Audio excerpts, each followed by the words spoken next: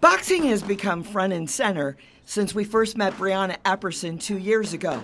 Back then, she couldn't decide between boxing or ballet. I guess because, you know, ballet kind of was, you know, iffy once COVID started, and then we were trying to do like these Zoom classes, and I just, I was not feeling it.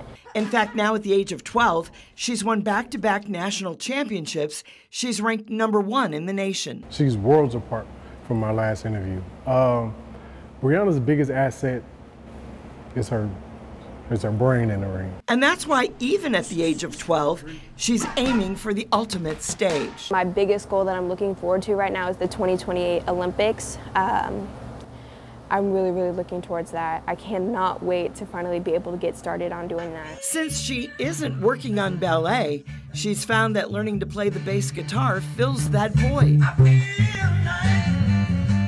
More B things ballet, boxing, now the bass. Brijhana has grown in so many ways in the last two years. She's even more passionate about proving that girls can box too. Every time you get in that ring, you're proving that you can still be a girl, you can, you know, still like girl things, but you can also box like crazy, you know? You can be crazy good, but still be a girl at the same time.